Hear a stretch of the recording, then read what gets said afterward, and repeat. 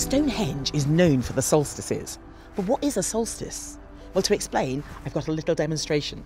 So this is the sun and this is the earth, but I need to point out they're not to scale.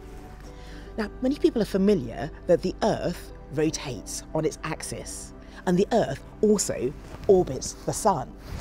But what people don't realise is the earth is actually tilted on its axis. And it's this tilt that gives us the seasons. So, in this position, the northern hemisphere is pointing towards the sun, so the northern hemisphere has longer days. When you get the longest day of the year, that is the solstice. Now, when you get the longest day of the year in the northern hemisphere, you're getting the shortest day of the year in the southern hemisphere. And so that's the winter solstice in the southern hemisphere and the summer solstice in the northern hemisphere. But let's travel on six months later. Now the northern hemisphere is uh, in, in winter, it's getting less sunshine, and the southern hemisphere is bathed in a lot more sunshine. It has longer days. So this is what Stonehenge was built to look at.